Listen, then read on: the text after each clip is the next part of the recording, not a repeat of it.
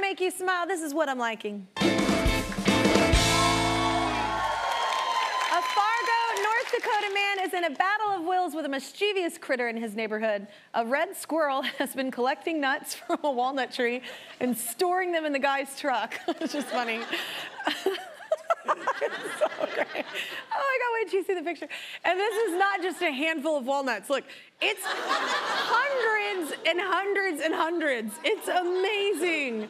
Um, you're welcome for me not saying it's nuts, because we take the high road here. Only so many mom jokes allowed per show. Um, we have this truck owner on the line right now watching on KVLY at 2. What's up, Bill? Hello, Kelly. You are losing the battle, my man. Is This has been going on for years, right? It absolutely has since 2013. Whenever the walnut tree produces, I end up dealing with this issue.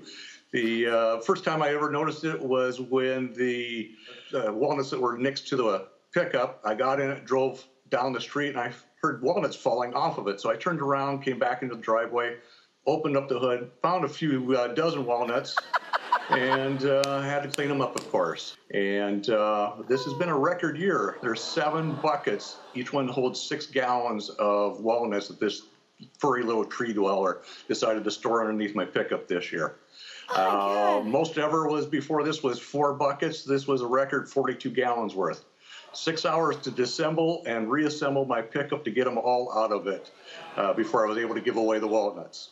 Oh my gosh, it's the craziest story. So you know that that squirrel is working hard to collect those and then they're just gone. Like you think that squirrel would learn maybe to go somewhere else and store them, but maybe he's just laughing, man, at you every year. I don't know.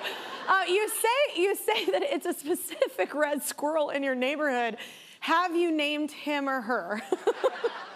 I have not named the squirrel. I'm leaving that up to the internet probably, but uh, other than maybe trouble. Yeah, I was gonna Dennis the Menace. Oh my God, it's so great. Thank you so much, Bill. I'm liking your post right now. It's so funny. Uh, that's not all though, man. Our season-long partner, Pilot Pen, the go-to pen of the Kelly Clarkson Show, thinks that your squirrely situation is outrageous and hilarious, like we do. Um, in recognition, they'll be using their FriXion erasable pen to write you a check for a thousand dollars. Thank you very much. Appreciate that. Oh my God. Well, thank